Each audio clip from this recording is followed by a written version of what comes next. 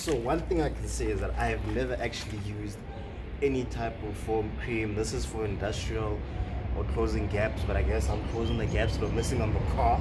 Get it?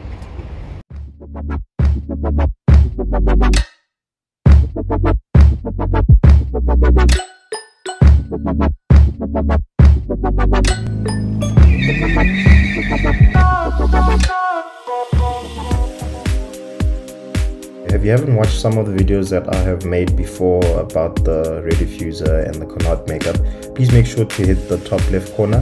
There will be an info box to see all the other images as well, all the other videos. Now that I had a bit of it actually on for the Connaught, well the rear Connaught don't really know what we're gonna call it.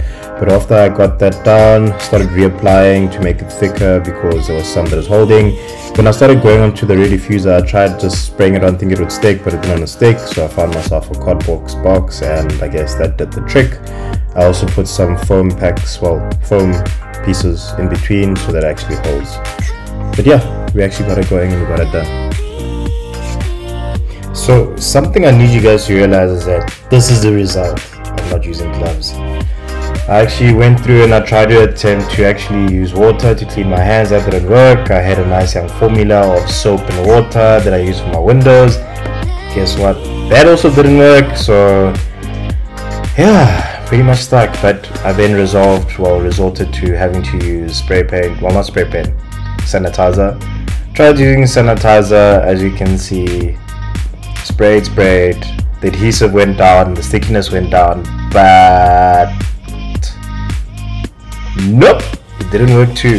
So make sure you get yourself some gloves and you should be good.